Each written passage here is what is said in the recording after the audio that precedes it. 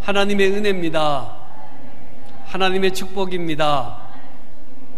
할렐루야. 네. 온라인으로 함께 예배 드리시는 분들도 화이팅입니다. 네. 어, 오늘 바울은 고린도 교회를 사역할 때 정말 열심히 말씀을 가르쳤습니다. 고린도 교회에 어떤 짐을 주지 않기 위해서 낮에는 열심히 일을 하고 밤에는 복음을 증거하는 일로 고린도 교회를 땀으로 눈물로 피눈물로 교회를 세웠습니다. 성도들에게 친밀하게 말씀을 가르치면서 양육하는 일들이 있었습니다. 그래서 얼마 지나지 않아서 사도 바울이 고린도 교회를 떠나는 안타까운 일이 생겼습니다. 그 사이에 거짓 교사들이 슬그머니 고린도 교회에 들어와서 말하기를 그들은 세상 사람들과 똑같이 육신을 따라 육신의 생각으로 사도 바울을 비판하고 또 사도 바울을 공격하기 시작했습니다. 또한 고린도 교회와 사도 바울의 이간질을 하기 시작했습니다. 사도 바울의 외모와 말은 어눌하다. 그렇게 어눌한 말로 그렇게 못난 얼굴로 어떻게 사도의 역할을 감당하냐? 이렇게 말하기 시작했습니다. 또한 그가 정착하지 못하고 이리저리 다니는 이유는 그에게 영적인 능력이 없기 때문이다. 이렇게 말하면서 사도권에 대한 의심도 아주 편하게 공격하며 말을 하기 시작했습니다. 가만히 들어보면 하나님의 말씀으로 훈련받은 고린도 교회 성도들이 들을 때는 이건 말도 안 되는 이야기인데 조금씩 조금씩 그들의 말에 쇠뇌되기 시작하면서 사도 바울이 혹시 사도가 아닌 것 아닐까라는 의심과 비난이 성도들 사이에 일어나기 시작했습니다. 도저히 이해되지 않는 말이 자꾸 자꾸 들려오니까 그것이 진실처럼 들려지면서 성도들이 사도 바울에 대해서 의심이라는 단어를 가지게 되었습니다. 대다수가 한 사람을 비방하면 너무너무 힘든 시련이 그에게 오지 않겠습니까? 여러분, 우리가 신앙생활 열심히 하는데 우리 가정에 식구들이 나를 예수 믿는다고 계속 비난하고 공격할 때, 우리 직장 생활 속에서 예수 믿는 나를 은근히 무시하고 공격할 때, 내가 그토록 잘해주었던 직장 동료가 힘을 모아서 나를 공격할 때, 자녀를 위하여 눈물로 기도했던 부모에게 자녀가 신앙의 잘못된 모습을이라고 공격하여 말할 때 여러분 그때는 보이지 않는 영적 전쟁이 일어나고 있다라는 사실을 인지해야 한다라는 것입니다. 여러분 신앙생활하면서 계속 좋은 말 듣고 좋은 평가 듣고 박수 받고 신앙생활 할 수 있다라는 것은 잘못입니다. 신앙생활 하면 하나님의 말씀으로 더 전진하면 할수록 점점 어렵고 힘든 일이 많이 주어지게 되고 나도 알지 못하는 비난과 아픔 속에 우리가 서게 될 때가 너무나 많다라는 사실을 기억해야 합니다. 바로 그때 여러분 기억할 것은 영적 전쟁이 시작되었다. 같이 한번 해볼까요? 영적 전쟁이 시작되었습니다.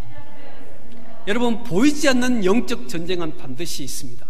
분명히 내게는 섭섭한 일인데 분명히 내게는 아픔인데 그것이 영적 전쟁이라는 사실을 기억해야 합니다. 사탄 마귀가 우리를 향하여 공격할 때 우리가 반드시 이겨야 할 영적 전쟁이 바로 사도 바울에게 주어지게 된 것입니다. 사랑하는 성도 여러분, 우리가 신앙생활을 하면서 이런 영적 전쟁을 경험할 때가 참으로 많습니다. 내가 너무너무 잘해줬는데, 내가 너무 진실하게 대해줬는데 그가 나를 공격하고 헐뜯고 아프게 할 때 여러분 이것은 현실적으로 보여지는 그러한 단순한 섭섭함이 아니라 영적 전쟁이 내 삶 가운데 생겨나게 되었다라는 사실을 기억하고 하나님께서 주시는 말씀으로 이겨나갈 수 있는 저와 여러분 되기를 바랍니다. 섭섭함이 찾아올 때 어떻게 돼요? 영적 전쟁이. 섭섭함이 내게 찾아올 때. 신앙생활 열심히 하다가 나를 알아주지 않는 섭섭함이 찾아올 때, 아, 내가 지금 보이지 않는 영적 전쟁 가운데 있구나 라는 사실을 기억하고 하나님을 기억해야만 승리할 수 있는 은혜를 가질 수 있습니다. 이제 사도 바울은 하늘에 있는 영원한 소망을 가지고 있기 때문에 하늘의 소망으로 인해서 큰 환란과 어려움이 그의 인생에 찾아왔지만 조금도 흔들리지 않았습니다. 왜요? 이 전쟁이 영적 전쟁이라는 사실을 알았기 때문입니다. 조금도 흔들리지 않고 뚝심을 가지고 성도들을 향하여 단호히 말하고 있습니다. 11절입니다. 같이 읽어볼까요? 11절 시작. 우리는 주의 두려우심을 알므로 사람들을 권면하거니와 우리가 하나님 앞에 알려졌으니 또 너희의 양심에도 알려지기를 바라노라. 아멘. 아멘. 우리는 주의 심판의 날이 있다라는 것을 알고 두려워하고 있다라는 사실을 말해주고 있습니다. 주님의 심판이 있습니다. 그러니 세상에 어떤 사람이 나를 비난하고 공격하고 어떤 일이 나를 아프게 할지라도 하나님의 심판이 있기 때문에 하나님이 아시기 때문에 하나님을 두려워하면서 내가 믿음으로 전진할 것이다. 이렇게 말하고 있는 것입니다. 또한 14절 말씀입니다. 읽어보겠습니다. 시작. 그리스도의 사랑이 우리를 강권하시는도다. 우리가 생각하건대 한 사람이 모든 사람을 대신하여 죽었은즉 모든 사람이 죽은 것이라. 아멘. 아멘. 그리스도의 사랑이 우리를 강권하고 있다라는 것은 그리스도의 사랑이 우리의 온 마음을 주장하고 있다라는 것입니다. 바로 그리스도의 사랑은 나를 위하여 십자가 지시고 죽으시고 부활하시고 영원한 생명을 주시고자 하는 놀라운 그 사랑을 말합니다. 그 놀라운 사랑이 내게 있으니 여러분들이 나를 공격하고 나를 비난할지라도 나는 흔들리지 않고 내 삶의 목적인 예수 그리스도를 향하여 나는 묵묵히 걸어가기를 결단합니다라고 권면하고 선언하고 있는 사도 바울의 모습을 가만히 보면서 우리는 우리의 인생 가운데 많은 섭섭함과 어려움의 순간이 찾아올 때 우리의 믿음이 얼마나 흔들리고 있습니까? 오늘 사도 바울은 우리들에게 권면하고 있습니다. 내 믿음이 흔들릴 때, 내 삶의 근간이 무너지게 될 때, 내 삶의 섭섭함이 가득 차 모든 것을 버리고 싶은 마음이 찾아올 때, 그리스도의 사랑을 기억하라. 그리스도의 사랑의 강고남을 기억하고 삶의 목적을 예수 그리스도께 분명히 두라고 오늘 이 시간 우리에게 권면하고 있습니다. 이 말씀은 저와 여러분이 인생을 찾아가면서 나의 주변에 있는 사람들을 향하여 분명히 고백해야 될 말씀 아니겠습니까? 내 인생의 목적은 예수 그리스도십니다. 내 인생의 목적은 예수 그리스도십니다. 그리스도의 사랑이 내 안에 있습니다. 자, 같이 해볼까요? 그리스도의 사랑이 내 안에 있습니다. 그래요. 그리스도의 사랑이 내 안에서 꿈틀, 꿈틀, 꿈틀 그리고 있어서 내가 섭섭함에 취해 있을라 그래도 그리스도의 사랑이 꿈틀, 꿈틀, 꿈틀 그리고 내 마음의 아픔이 많아 낙심하고 좌절할 때도 그리스도의 사랑이 내 안에 꿈틀꿈틀 그리기 때문에 제가 여러분들을 원망하지 않겠습니다. 여러분들을 거부하지 않겠습니다. 그리스도의 사랑으로 그리스도의 사랑 때문에 내 인생의 목적인 예수 그리스도를 향하여 걸어갈 테니 여러분도 그러한 삶을 살아가셔야 합니다라고 말하고 있습니다. 조금 전까지만 해도 고린도 교회 성도들은 사도 바울을 향하여 은근히 비난의 시선을 보냈습니다. 조금 전까지만 해도 사도 바울을 욕하고 원망했습니다. 그러나 사도 바울은 그들을 향하여 원망의 목소리보다는 더 중요한 내 안에는 그리스도의 사랑이 있는 것처럼 여러분에게도 그리스도의 사랑이 꿈틀꿈틀 그리고 있으니 이제 우리가 다른 것에 마음을 빼앗기지 말고 우리 인생의 목적인 예수 그리스도를 향하여 걸어갑시다. 예수 그리스도를 향하여 나아갑시다라고 선언하고 있는 사도 바울의 선언은 오늘 저와 여러분 이 시대를 살아가는 저와 여러분의 분명한 선언이 되시기를 축복합니다. 그리스도의 사랑이 내 안에 있다라는 것. 그리스도께서 나를 위하여 십자가 지시고 나를 위하여 죽으시고 한 방울의 피도 아낌없이 다 흘리시고 부활하시고 승천하셔서 우리 인생에 영원한 생명을 주신 그 그리스도의 놀라운 사랑이 내 안에 있기 때문에 우리는 흔들리지 않아야 한다라는 이 담대한 말씀을 저와 여러분이 기억할 수 있기를 바랍니다. 고린도 교회가 너무너무 힘든 위기를 만나고 있지 않습니까? 오늘날 한국교회도 코로나 때문에 너무너무 위기와 어려움이 찾아옵니다. 어쩌면 예수 믿는 사람들을 다 죽여버려야 한다라는 그런 댓글도 있습니다. 저 예수 믿는 교회를 불태워버려야 한다라는 말들도 있습니다. 사랑하는 성도 여러분, 오늘 이 시간 저와 여러분이 꼭 기억해야 될 것은 그러한 시선 때문에 내 믿음이 흔들리는 게 안 된다는 거예요. 그러한 시선으로 인해서 내 마음을 아픔에 두지 않아야 한다는 거예요.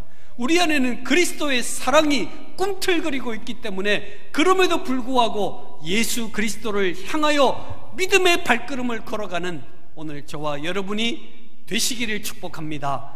그런 믿음이 오늘 우리들에게 있어야 합니다. 그래서 오늘 본문 16절의 말씀 이렇게 말하고 있습니다. 읽어볼까요? 시작. 그러므로 우리가 이제부터는 어떤 사람도 육신을 따라 알지 아니하노라.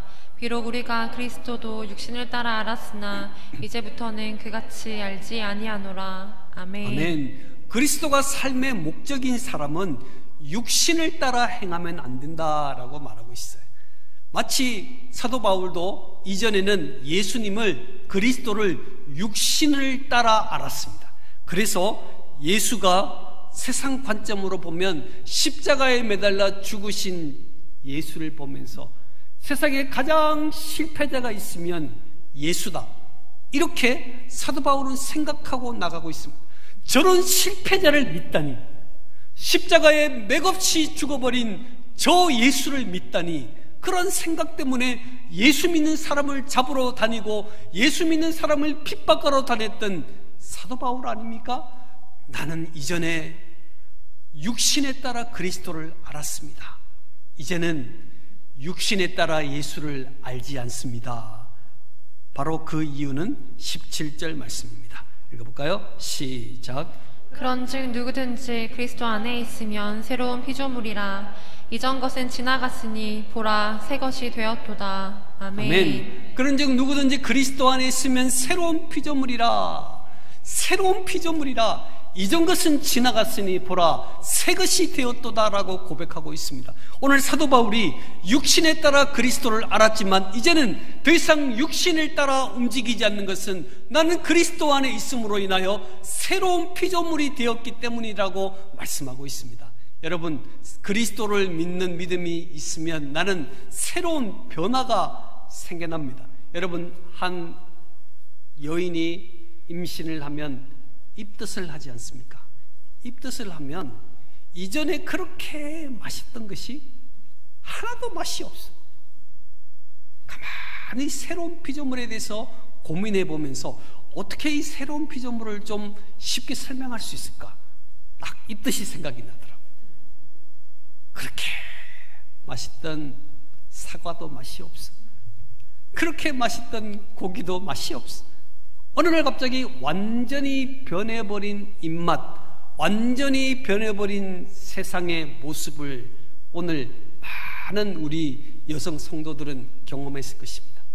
오늘 그리스도 안에 있으면 새로운 피조물이라라고 말하는 말은 이전에 좋았던 것이 하나도 안 좋은 거예요. 이전에 내가 생각했던 생각이 아무것도 맞지 않는 생각으로 변화되어 버린 존재가 새로운 피조물이라는 존재입니다. 오늘 예수 그리스도 안에 있으면 너희들은 새로운 피조물이다라고 말씀하셨어요. 오늘 우리 안에는 하나님의 말씀을 받아들임으로 내 생각과 내 모습이 완전히 다른 것을 보고 완전히 다른 생각을 할 수 있도록 만드시, 만드셨다라는 거예요. 그러니 자신을 위해 살던 옛사람은 죽어버리고 그리스도를 위해 사는 새로운 피조물이 되는 은혜를 가지게 되는 것입니다. 그래서 육신의 눈으로 보았던 모든 것이 완전히 변해서 영적인 눈으로 바라보는 힘을 가지게 되었다. 교회를 볼 때 육신의 눈으로 보면 교회 건물이 얼마나 크냐 이게 중요한 거잖아요. 또 얼마나 많은 헌금이 있고 얼마나 많은 출석하는 성도가 있느냐 이것이 육신의 눈으로 보는 기준이라면 영의 눈은 무엇이냐? 그 교회 가운데 예배가 살아있느냐? 하나님의 말씀이 꿈틀꿈틀 그리고 있느냐, 그 교회는 기도의 능력이 있느냐를 바라보는 것이 새로운 피조물이 가지는 역사요 힘이라는 것입니다. 오늘 이 시간 저와 여러분이 사람을 판단할 때도 마찬가지입니다. 육신의 눈으로 볼 때 사람이 얼마나 많은 것을 가지고 있는가, 얼마나 많은 것을 이루고 있는가, 저 사람은 어떤 능력이 있느냐에 따라서 그 사람을 판단하고 평가하고 비하하고 공격하지만 이제는 새로운 피조물이 된 사람은 완전히 하나님의 눈으로 영의 눈으로 내 삶이 바뀌기 때문에 사람들을 귀히 여기고 선대하고 설득하며 살아가는 것입니다. 예수 믿기 전에는 새로운 피조물이라는 사실을 알기 전에는 그저 명령하고 따르는 존재였다면 이제는 존귀하고 존대하고 설득하며 이끌어가는 존재로 바꾸어가는 은혜를 가지게 된 것입니다. 오늘 저와 여러분이 가정 안에서 부모로 살아가고 있습니까? 자녀로 서 있습니까? 직장에서는 대표로 사장님으로 회사원으로 서 있습니까? 오늘 저와 여러분은 새로운 피조물이라는 사실을 기억해야 합니다. 삶의 목적을 가진 사람, 예수 그리스도가 스도가 삶의 목적인 사람은 우리는 새로운 피조물로 거듭난 존재이기 때문에 내 눈이 하나님의 눈, 하나님의 태도가 되어야 한다라는 것입니다. 자, 우리 옆 사람에게 한번 인사해 볼까요? 내 눈은 하나님이 기뻐하는 눈입니다. 그래요. 하나님의 눈으로 보면 다 이뻐. 자, 오늘 옆, 혹시 옆, 옆 사람 좀 불편한 분이 있습니까? 한번 인사해 볼까요? 하나님의 눈으로 보니 너무너무 이쁩니다. 그래요. 세상의 눈으로 보면 교회가 코로나를 옮기는 것처럼 보여요. 그러나 하나님의 눈으로 보면 그 교회 안에 예배드리는 예배로 이 사회가 변화되고 그 예배로 하나님께서 기뻐하는 결과에 많은 은혜가 이 사회에 임한다는 것을 보게 된다는 것입니다. 여러분, 그래서 새로운 피조물이라 내 삶의 목적이 예수 그리스도인 사람은 내가 새로운 피조물이라는 사실을 인지하고 생각하며 살아가야 되기 때문에 그 새로운 피조물은 육신의 눈으로 보지 않는다는 거예요. 옆 사람을 육신의 눈으로 보지 않고 환경을 육신의 눈으로 보지 않습니다. 고난을 만나 좋아하는 사람 한 사람도 없습니다. 고난을 만나면 원망하고 비난합니다. 왜, 왜 내게 이런 어려움이 있을까? 하나님 왜 나만 미워하는 것일까? 저 옆 사람은 그렇게 못된 짓 많이 하는데, 네. 저 옆 사람은 그렇게 못된 짓 많이 하는데, 저 사람은 가만히 있고 왜 내게만 어려움이 있는 것일까? 이렇게 육신의 눈으로 보면 그렇게 생각이 돼요. 그러나 하나님이 고난을 내게 주실 때, 아, 하나님이 나를 이뻐하시는구나. 이 고난을 통해서 하나님이 내게 어떤 말씀을 주실까를 돌아보는 은혜로 바뀌어지게 된다는 것입니다. 아직도 저와 여러분에게 남아있는 육신의 잣대가 있습니다. 저와 여러분은 새로운 피조물입니다. 영의 눈으로 모든 것을 바꾸어 생각할 수 있는 은혜를 가진 하나님의 백성들이라는 것입니다. 또한 새로운 피조물은 바로 화목해 만드는 사명을 가진 존재입니다. 18절 말씀입니다. 한번 읽어볼까요? 18절 시작.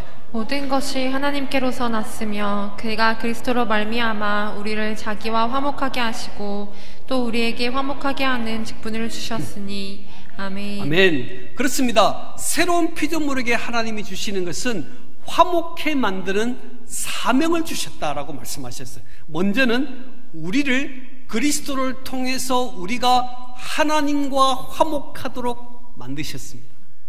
하나님과 화목하도록 예수 그리스도께서 십자가 지심으로 우리는 하나님과 화목하며 살아갑니다.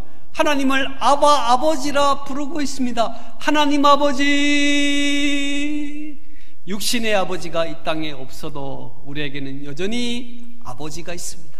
그 아버지는 하늘에 계신 하나님의 하나님이십니다. 하나님 아버지 아빠.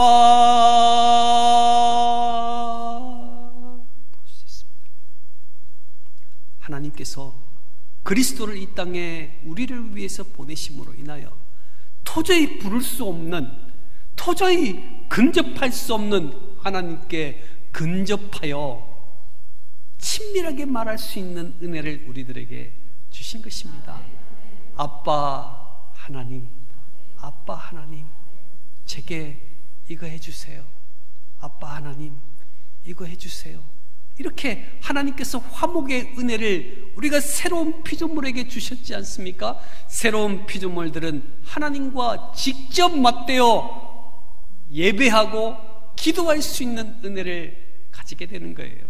얼마나 놀라운 능력인지 몰라요.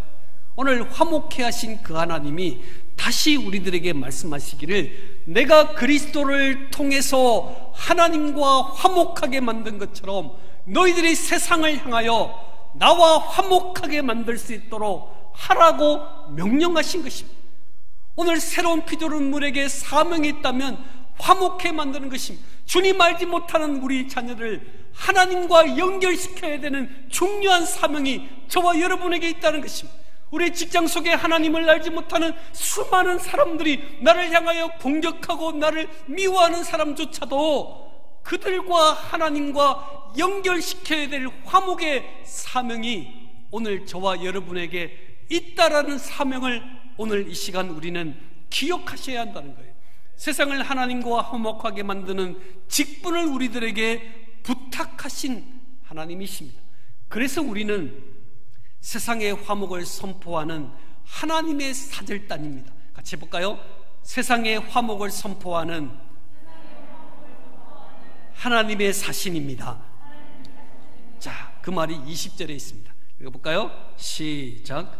그러므로 우리가 그리스도를 대신하여 사신이 되어 하나님이 우리를 통하여 너희 권면하시는 것 같이 그리스도를 대신하여 간청하노니 너희는 하나님과 화목하라. 아멘. 아멘. 그렇습니다. 우리를 사신이라 말하고 있습니다. 세상의 화목을 선포하는 사신이다라고 말했어요. 오늘 저와 여러분이 모여 있는 이유를 분명히 기억하셔야 됩니다. 대면하여 함께 기도하고 예배하는 이유를 분명히 기억하셔야 해요. 오늘 이 시간 예배하러 오기 위해서 자녀들이 말했을 것입니다. 어머니, 교회 가지 마세요. 코로나 걸려요.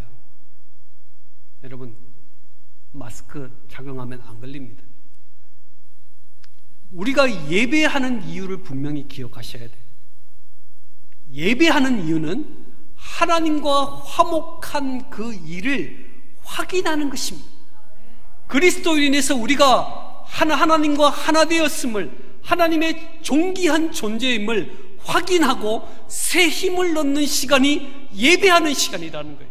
이 예배하는 시간을 통하여 우리가 화목해야만 하나님이 우리를 가정에 보내셔서 너는 나를 대신하여 그리스도와 화목하게 만드는 일을 하라고 명령할 수 있는데 우리가 예배 안에 뜨거움을 느끼지 못한다면 주님을 만난 기쁨을 회복하지 못한다면 주님과 내가 얼마나 친밀한 존재이고 내 기도를 받으시는 분이 얼마나 존귀한 존재인지를 기억하지 못하신다면 우리가 세상 가운데 화목하라는 주님의 명령을 지킬 수가 없다라는 것입니다.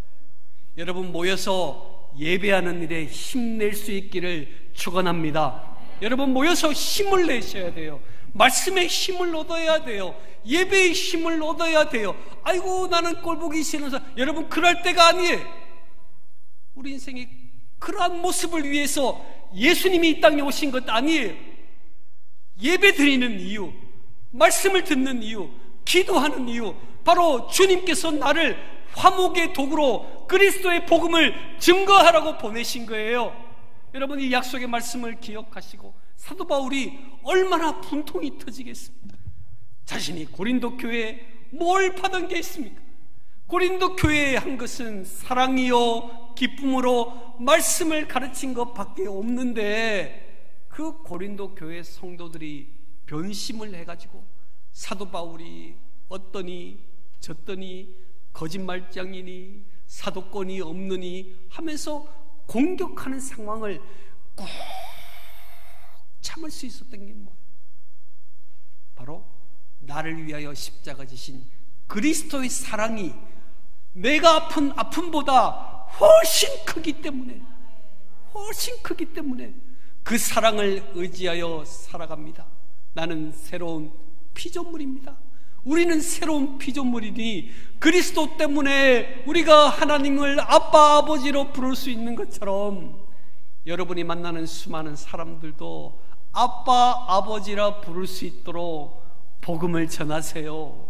그리스도를 전하세요. 하나님을 전하세요라고 말하고 있는 오늘 사도 바울의 모습을 보면서 과연 지금 우리는 어떤 모습을 하고 있는지를 돌아보셔야 되지 않겠습니까? 지금 고린도 교회는 교회 기능을 잃어버리고 있습니다. 순수한 복음을 가져야 되는데 율법을 지켜야 된다라는 거짓 교사의 말 때문에 순수한 복음을 잃어버리고 살아가고 있는 고린도 교회입니다. 또한 고린도 교회는 교회 분쟁이 심하게 심한 교회 분쟁 때문에 아무것도 하지 못하는 상황 가운데 서 있습니다. 많은 주변에 있는 사람들이 말할 것입니다. 고린도 교회는 끝났다. 고린도 교회는 회복될 수 없다. 또한 예수 그리스도를 믿는 저 사람은 끝났다. 사업이 부도나고 자녀들이 무너지고 남편과 아내가 이혼하고 인생의 힘겨운 일들을 걸어가는 모습을 보면서 저 사람은 끝났다. 저 사람은 안 된다. 고린도 교회 더 이상 아무것도 못한다. 고린도 교회는 너무나 많은 은혜를 가지고 있었어요. 그리스도로 인해서 은사를 가진 교회, 하나님을 향한 열심을 품는 고린도 교회에 있는데 이제는 그 고린도 위상이 완전히 바닥에 떨어진 것입니다. 아무것도 못하는 거예요. 오늘 우리 안에도 얼마나 많은 하나님의 백성으로 든든히 서다가 모든 것을 잃어버린 것처럼 낙심하는 사람들이 있지 않습니까? 그러나 여러분 꼭 기억할 것은 하나님께서 여전히 화목할 수 있는 기회를 고린도 교회에 줬다라는 거예요. 모든 사람은 끝났다라고 말해도 하나님은 여전히 그에게 기회를 주는 것은 예수 그리스도께서 그를 위하여 십자가 지셨기 때문에 예수님이 교회를 향하여 십자가 지시고 피눈물을 흘리셨기 때문에 여전히 기회가 있는 거예요. 여러분, 나는 안 된다고 생각하지 마세요. 우리는 아무것도 못한다고 생각하지 마세요. 우리는 여전히 기회가 있습니다. 왜요? 예수 그리스도께서 나를 위하여 십자가 지신 그리스도의 사랑이 내 안에 있는 한 여전히 우리들에게는 기회가 있다라는 사실을 기억할 수 있기를 바랍니다. 소돔과 고모라가 무너졌습니다. 이제는 멸망할 수밖에 없는 상황 가운데 하나님의 천사를 보내어서 롯과 그의 가족을 건져낸 이유가 무엇입니까? 하나님의 백성이 그 자리에 있기 때문 아닌가요? 우리에게는 힘이 있습니다. 아직까지 기회가 있습니다. 그 기회를 붙잡고 새 힘을 내시고 우리 가정은 하나님이 붙잡으시는 존귀한 가정이고 나 자신과 교회는 하나님이 붙잡으신 존귀한 자신과 교회라는 이 사실을 저와 여러분이 기억하며 우리에게는 여전히 기회가 남아 있다. 여전히 기회가 있다라는 것입니다.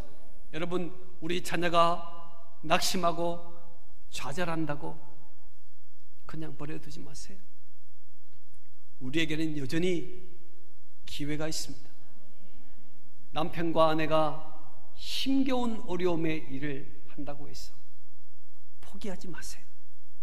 우리에게는 여전히 기회가 있습니다. 우리 에덴 교회가 분쟁과 어려움 속에 휘말려 있습니다. 어째 보면 다 잃어버린 상태에 있습니다. 아무것도 없습니다. 한국 교회가 지탄의 대상이 되었습니다. 더 이상 아무것도 회복할 수 있는 길과 기회가 없습니다. 코로나19가 회복된다고 할지라도 한국교회는 계속 내리막길을 걸을 수밖에 없는 구조에 서 있습니다. 고린도 교회가 그랬습니다. 그러나 주님은 사도 바울을 통하여 말씀하기를 여전히 기회가 있다. 여전히 기회가 있다. 한국 교회와 에덴 교회와 여러분에게는 여전히 기회가 있습니다. 왜요? 예수 그리스도의 십자가의 사랑이 우리에게 강권되어 있는 한 저와 여러분에게는 여전히 기회가 있습니다. 기도하겠습니다.